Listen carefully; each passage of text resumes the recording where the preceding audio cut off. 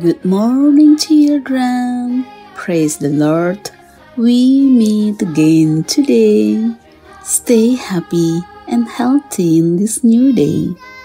Before we start our today's activities, let's listen to God's Word this morning. Taken from the book Straight Ahead, written by Adlai Esteb, PhD. And this morning, we will learn from the title Remember Father's Directions.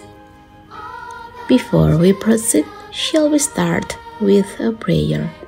Thank you, Lord, for the new day. Now we are ready to listen to your words. May your Holy Spirit be within us to lead us and bless us. In Jesus' name we pray. Amen. Our memory verse for today is from Proverbs chapter 3, verses 1 2. It says, My son, do not forget my teaching, but keep my commands in your heart, for they will prolong your life many years and bring you peace and prosperity. Children, it is important for girls as well as boys to remember father's directions. In a western city, there was a fire in a school. There was a little girl in that school who did not forget her father's directions and command.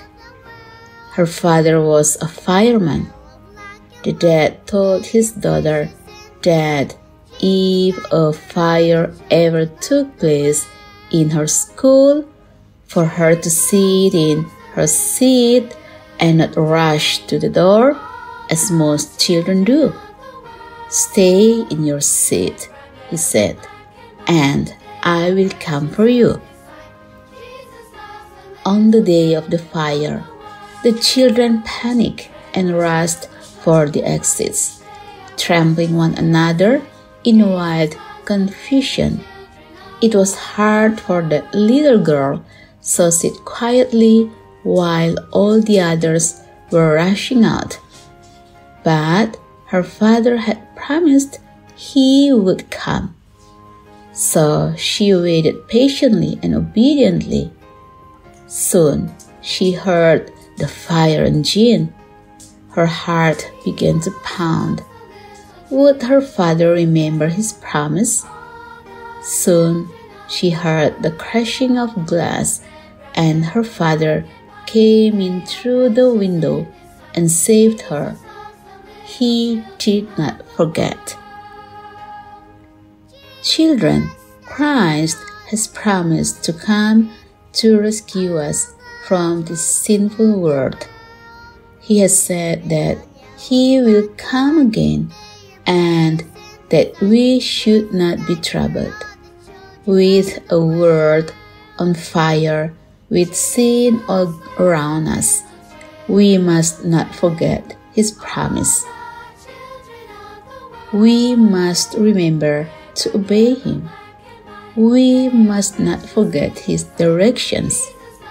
God says to us, Be patient, therefore, brethren, unto the coming of the Lord. James 5, verse 7. Christ will come at the right time to save us. He will not forget his promise.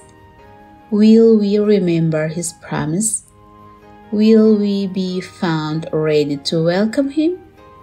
Will we be obedient as the little girl was obedient to her father's direction.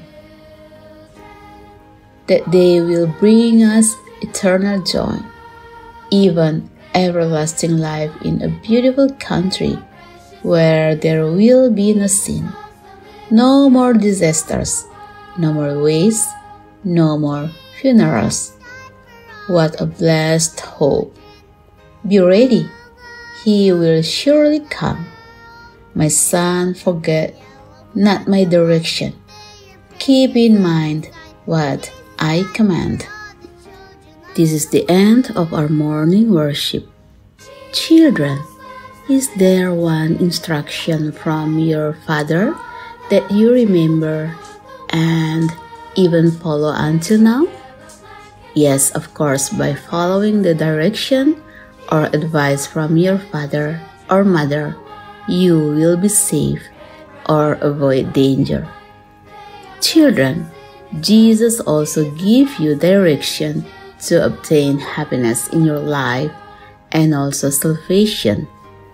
You just need to continue to obey Him and do not forget His guidance. You must be patient until God comes to take you into the kingdom of heaven. Today, remember your Father's directions and especially your God's directions. May the Lord Jesus bless and protect all of the children on this wonderful day. Amen.